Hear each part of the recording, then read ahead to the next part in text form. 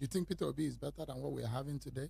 An inspiring leader. That those who believe that Peter Obi does not even measure up. He was there in Anambra State. Those who say you cannot compare Anambra and Lagos State, if that is the indice. Good. You can compare the policies. You can compare the environment. When Peter Obi came into Anambra State, Anambra was coming last in education. The governor, governor of Anambra State, the former governor, Chinwoke Mbadinuju, was the only governor that PDP did not allow to return for the second time. Only.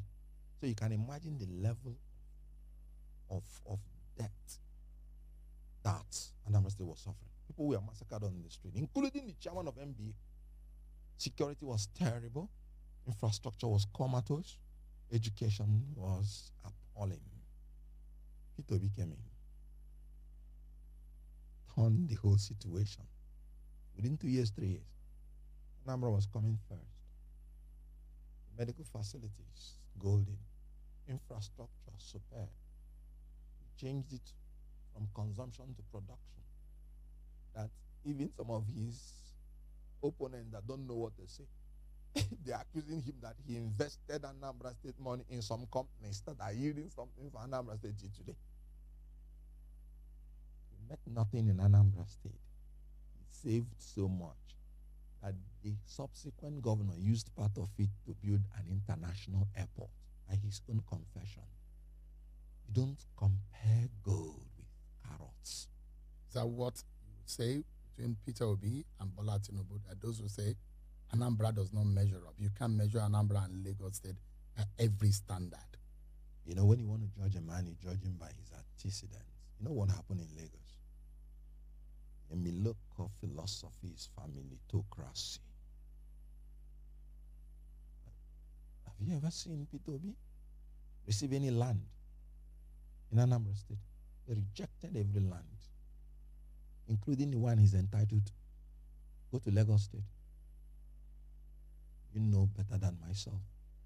Some people describe the owners of Lagos as the largest landowners in the whole of West Africa.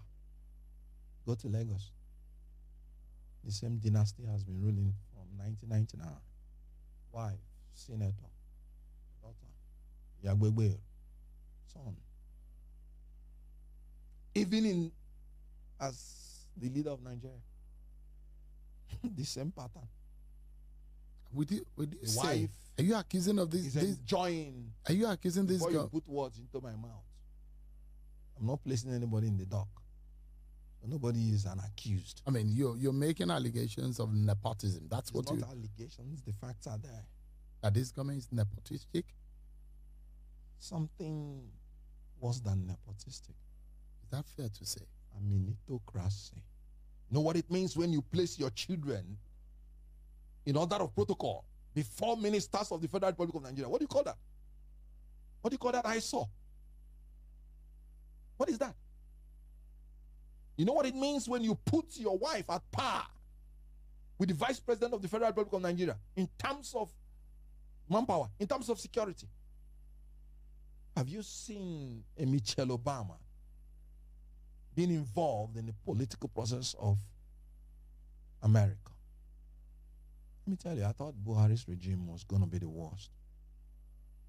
Nine months, this government has surpassed it. Let me tell you, this government started from the man himself to the wife, to the sons, using the private jet to attend parties, desecrating the hollow chamber of leadership. Talk about the daughters, talk about the sons in laws, daughters in laws. Then when you go to the daughters and sons of friends, what do you call that? What leadership system is that? It's a country that has six geopolitical zones. And you're just appointing only the people from that your little clique. And you're expecting loyalty. This government, Mr. Okonkwo, said, look, we're making some policies. They might be painful in the moment, but it's going to be like the pangs of childbearing. In the end, it's going to be some joy. Are you hopeful of the possibility that this process is just momentary. At the end of the day, there's light at the end of the tunnel in all of these policies that this government is putting in place. Your wife is pregnant, and after the pangs of childbirth, she gave birth to a monster, would you rejoice? All their policies have been giving birth to monsters, not children. You told us first subsidy is gone. And after punishing the people, the first subsidy is remaining. What have you given birth to? Monster. You told us you're unifying the dual foreign exchange. And after a while, Naira has become worthless. Even less valid than the CFA. And you again, you're telling us, no, that's not the true reflection of the value of Naira. And you are the one who voluntarily devalued the Nigeria, uh, Naira to that level. Is that childbirth? No. That is a monster. You told us that you're imposing sanctions on Niger Republic so that they would go back to democracy. Have they gone to democracy? You lifted the sanction. What have you achieved? You punished the eight states of the north from Kebbi to Sokoto to Zamfara to Jigawa to Katsina to Yobe to Boronu. You brought all of them, punished them immensely. And after eight months without achieving anything, is that childbirth? No. Childbirth is that you give birth to something new. When thesis and antithesis meet, they give birth to synthesis. That is something new. Childbirth. Not when you finish punishing the people and you go back to a situation that is worse than they were when you started the policy. That is monster. So this government, sorry, the pangs of childbirth have been a punishment. You're telling people to be patient. And you're wearing a watch worth of millions while you're telling people to be patient. Is that childbirth? You're telling people to be patient. You say you want to, uh, you know, implement Oronsaye report. And you have 48 ministers. Even Murtala Mohammed, when he became head of state, Allah, the first thing he did was to purge himself.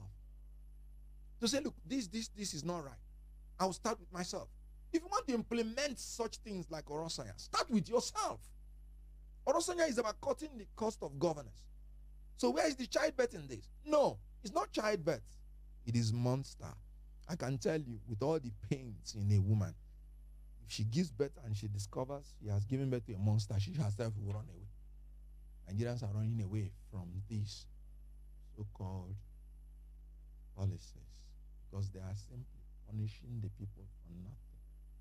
2,000 naira for a dollar, and you say it's a childbirth. No, it's a monster.